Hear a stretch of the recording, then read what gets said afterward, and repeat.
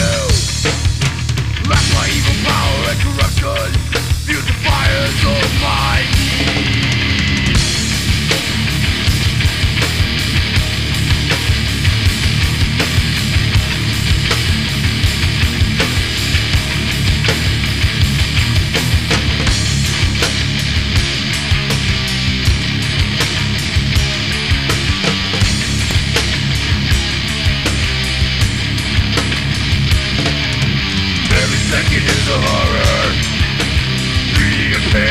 endures And it hurts not to be denied Or even worse fulfilled.